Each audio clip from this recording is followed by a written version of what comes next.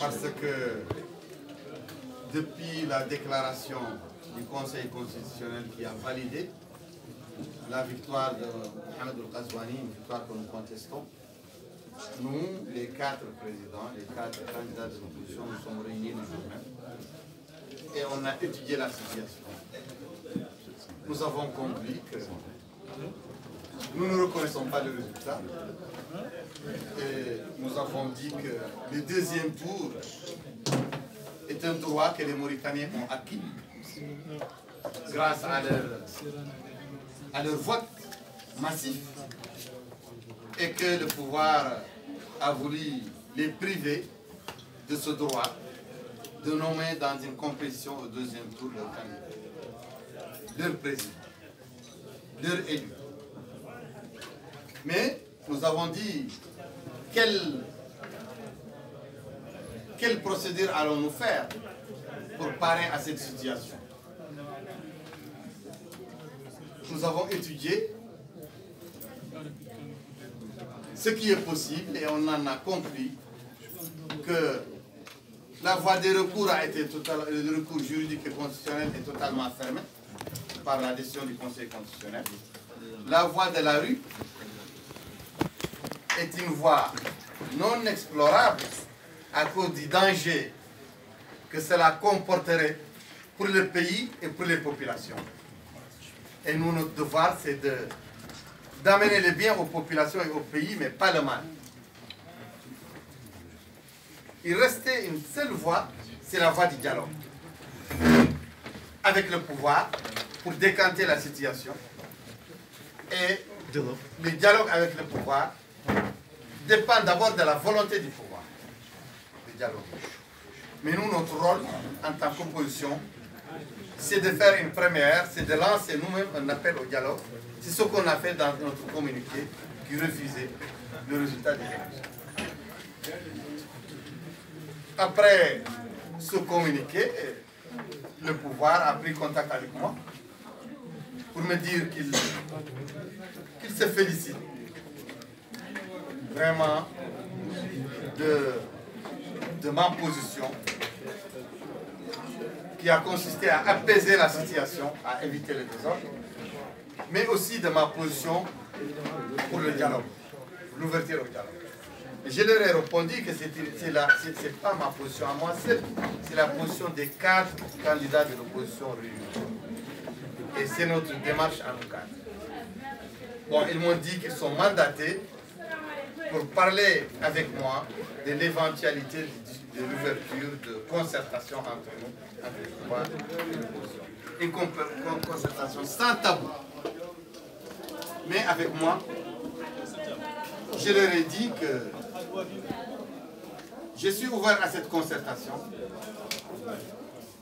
et que je, je la reçois à cœur ouvert, mais cette concertation doit se faire avec tous mes quatre collègues, tous, mes trois, moi et les, trois collègues candidats de l'opposition.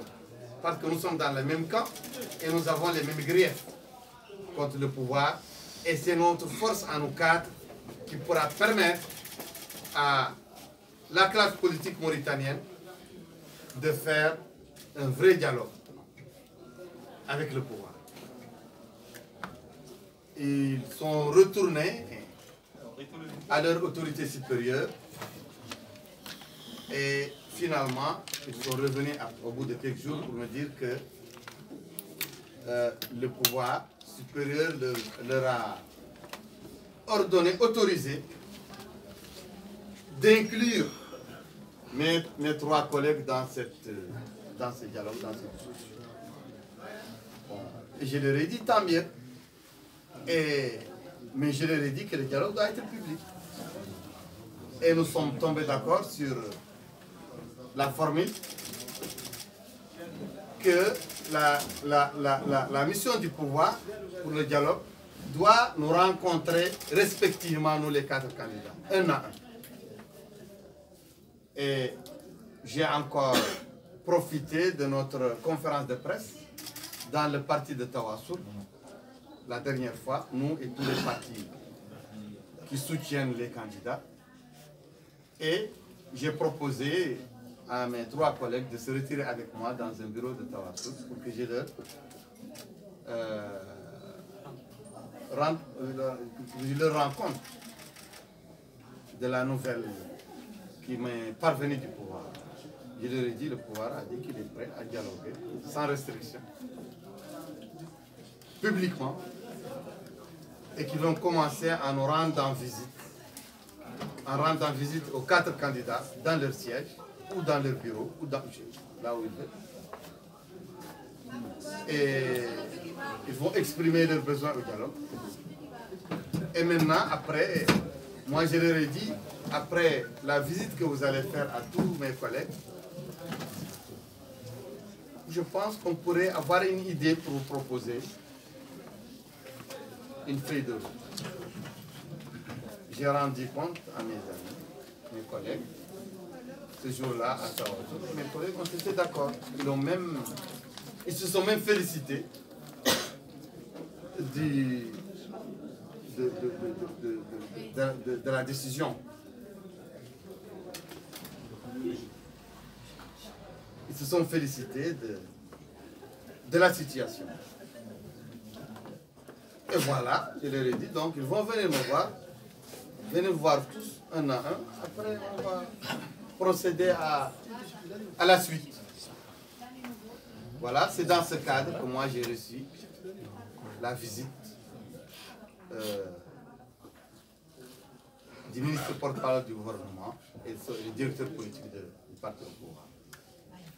Je n'ai jamais fait cavalier Je n'ai jamais négocié en solo. Au contraire. Je n'ai jamais eu une visite ou une information de la délégation du pouvoir sans venir immédiatement rendre compte à mes collègues, les autres candidats.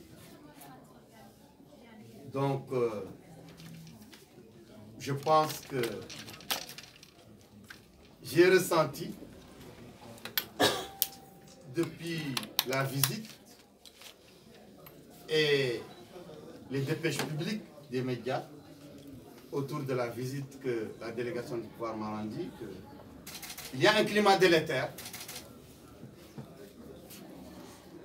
et il y a beaucoup de fausses informations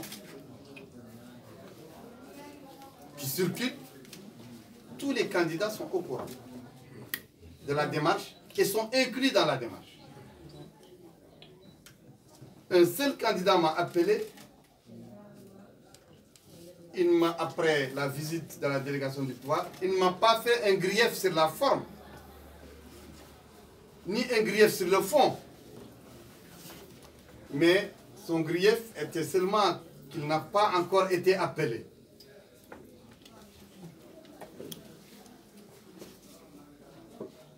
Moi, je pense qu'ils vont l'appeler. Ils vont passer, ils. Et en tout cas, s'ils ne passent pas voir mes collègues et ne discutent pas avec eux, moi, ma position ne va pas avancer. Je resterai sur ma position. Si ce qui est convenu avec les collègues est faussé par le pouvoir, moi, je resterai sur ma position jusqu'à ce que le pouvoir rétablisse l'intégralité de la démarche que nous nous sommes convenus. Je pense aussi que l'opposition a eu beaucoup d'expériences, pas du tout flatteuses dans le cadre du dialogue. Et je pense que la cause, c'est que différentes têtes au sein du pouvoir ont la capacité de manipuler et d'abuser certains pôles de l'opposition, certains groupes de l'opposition, certaines personnalités de l'opposition, certains partis de l'opposition. Je lance un appel à tous mes amis opposants d'éviter et de résister à la manipulation.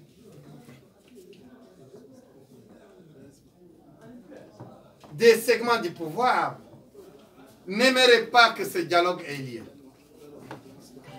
Parce que c'est un dialogue, si réussi, il va renforcer l'opposition il va renforcer les populations parce que dans ce dialogue, on va parler au nom des populations. Et j'ai parlé au nom des populations l'autre jour lors de la visite. Épiration ethnique,